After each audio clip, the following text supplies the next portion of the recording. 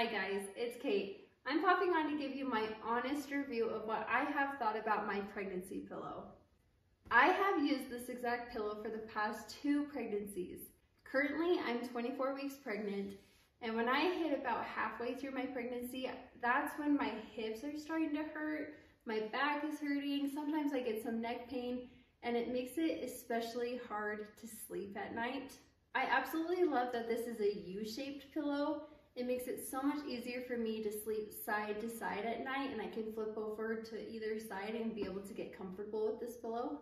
It offers neck support, it offers belly support, and it offers leg support, so I feel completely comfortable and cuddled up all night long.